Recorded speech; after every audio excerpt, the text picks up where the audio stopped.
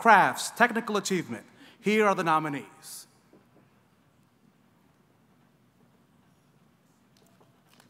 And the Emmy goes to in crafts technical achievement, the restorers, they were all volunteers. Hemlock Films.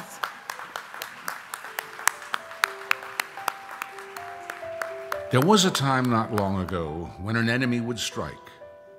United States of America was suddenly and deliberately attacked by naval and air forces of the Empire of Japan. And heroes would rise. I know I was scared, uh, wondering what was going to happen next. Uh, it was an unbelievable mission.